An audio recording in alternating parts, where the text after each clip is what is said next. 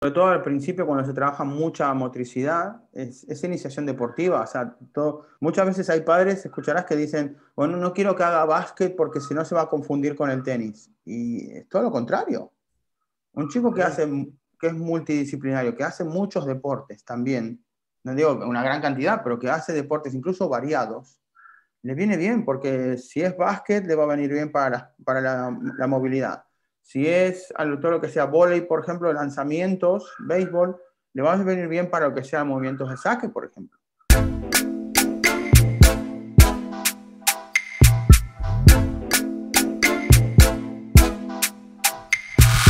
Oye, Martín, yo, yo siempre tengo, a, ver, no sé si, si, estoy entendiendo bien, pero eso tal vez lo que provoca es que no necesariamente necesito una cancha de tenis como tal para empezar a enseñar tenis. No, no, no, para nada para nada.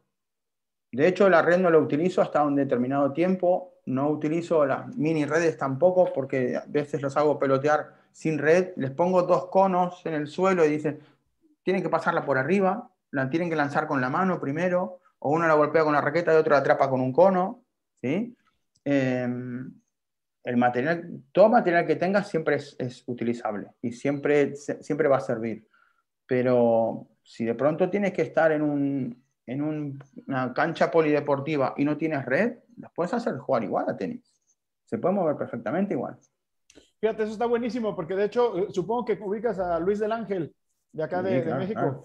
Él, por ejemplo, me, me, hacía entender esa parte. Yo, yo le decía, ¿sabes qué? Pues es que, ah, bueno, ellos me dicen que tienen un sistema donde van a las canchas este, de fútbol, de, así como dices, un polideportivo, un lo que sea, y ponían a los niños a jugar tenis. Y yo les decía, espérame, o sea, pues yo, yo, acá en México normalmente el tenis es que si no estás en un club o no vives en un coto de, buen nivel, pues no tienes la cancha, por ejemplo, ¿no? Entonces, a mí cuando él, me explicaba ese detalle, me llamaba mucho la atención porque eso provoca de que, de que en realidad puedas ampliar enormemente, pues, el hecho de las bases.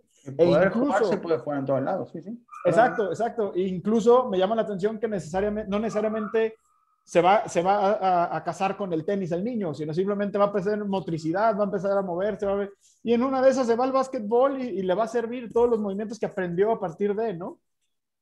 Bueno, sobre todo al principio cuando se trabaja mucha motricidad, es, es iniciación deportiva, o sea, todo, muchas veces hay padres, escucharás que dicen, bueno, no quiero que haga básquet porque si no se va a confundir con el tenis, y es todo lo contrario.